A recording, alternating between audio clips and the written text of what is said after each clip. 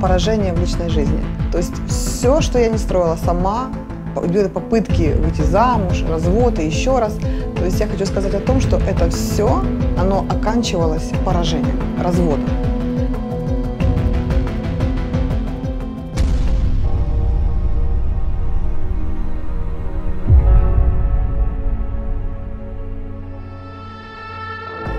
Двенадцать лет назад я пришел в духовный центр возрождения, я пришел в церковь.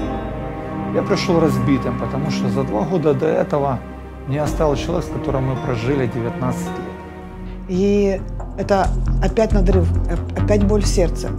Опять ты пока исцелился, пока ты успокоился, пока все отошло, ты опять надеешься, ты опять строишь, опять отношения, опять год, да, там полгода.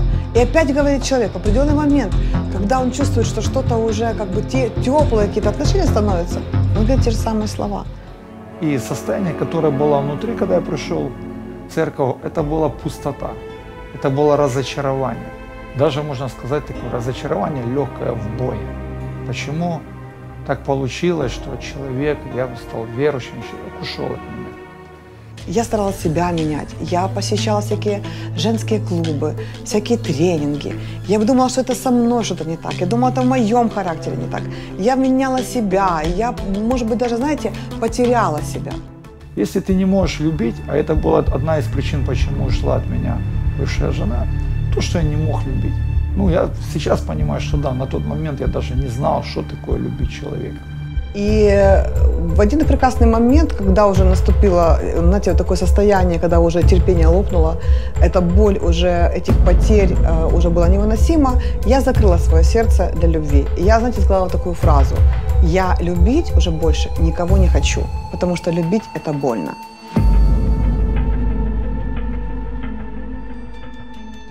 Через проповедь пастыря на одном из служений я понял, что эту пустоту можно заполнить только служением, потому что через служение людям ты учишься любить. Я начал служить.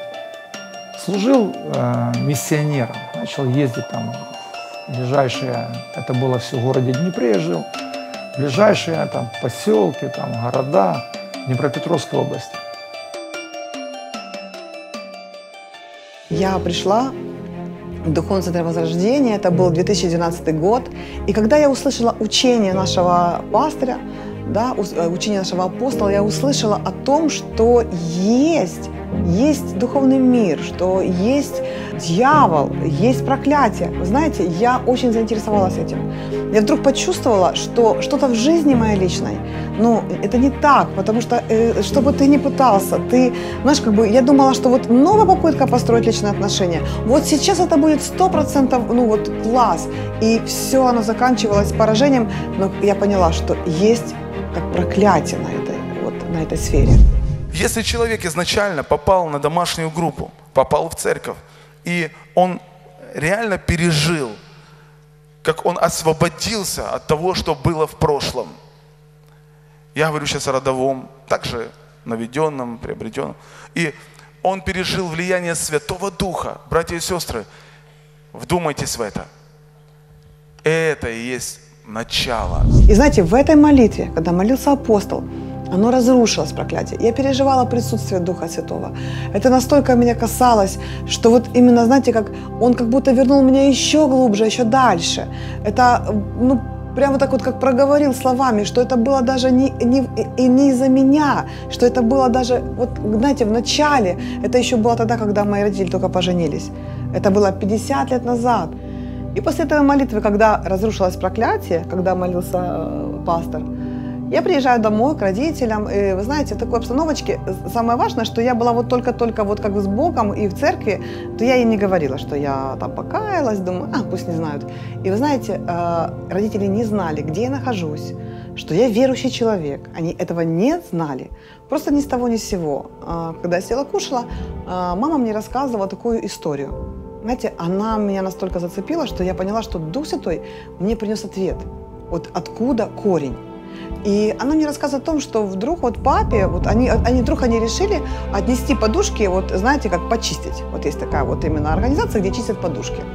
И вот э, она мне рассказывает, что когда папа забирал подушки, и вынесли ему вот э, пакетик, знаете, и сказали, что возьмите, это вам сделано. Вот это мне мама, представьте, рассказывает такую вещь. Я говорю, а что там было в пакетике? А она же говорит, ну там какие-то были кости скрученные, перья, нитками перекрученные. И знаете, она вот не верила вообще в это. Но вы же понимаете, что я-то уже понимаю всю эту причину после молитвы, после пережитого помазания. Но через эту молитву, когда молился апостол, это проклятие разрушилось. И когда, вот знаете, я так, он помолился за меня, и я пришла на свое место. И вот, вот такой был тихий голос, знаете, такой внутри у меня вот проговорил тихий голос.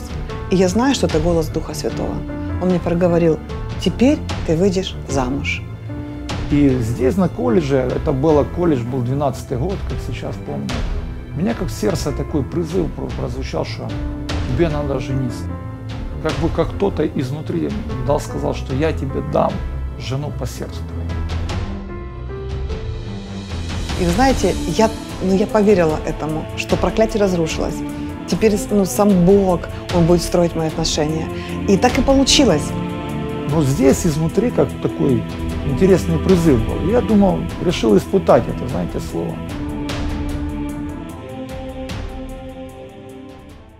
В течение потом следующего года, после этого, когда я согласился, мне начала внутри происходить работа. Какого плана? Мне как мысли приходили, какая она должна быть, какие внешние факторы, внешние ее, как сказать, э, характеристики, внутренние ее характеристики, какие, ну, что, оказывается, о себе я даже не знал, какая, ну, что я по-настоящему любил. Знаете, не то, что мне казалось я любил, а то, что действительно глубоко сердце, что я любил. И знаете, она, когда это все происходило, через 2-3 месяца этой работы внутри, возле себя я увидел того человека, эту девушку, которая подходила под внутреннее описание, под внутренние мои желания, знаете, под внутреннее мое свидетельство того, знаете, видение, которое ну, внутри у меня появилось. И мы стали, ну, как сказать, потихоньку э, общаться. И это общение было в том, что э, она попросила меня, чтобы я его наставлял. Бог изобрел такой случай, что вот реально только он изобретатель этих случаев. Мы познакомились э, с Олегом, это мой муж сейчас. В тот момент он был служителем, да, он, мы с ним познакомились, и я реально вообще на него не обращала внимания. Я его воспринимала как пастор Олег, как наставника, который меня, э, знаете, наставлял, там, учил, подымал, там, там, чтобы я на домашнюю группу проводила. То есть он меня взращивал. Знаете, и вообще даже и, и близко у меня не было такого понимания, что вот он может быть моим э, будущим мужем. Но спустя какое-то время э, я вдруг вспоминаю, что у меня к Богу был только, э, знаете, как вот э, список, когда я писала, какого я хочу мужа. И первые приоритетные у меня как пункты, которые я писала, они были такие, что я хочу, чтобы мой муж, которого Бог мне даст, то он любил Бога больше, чем меня.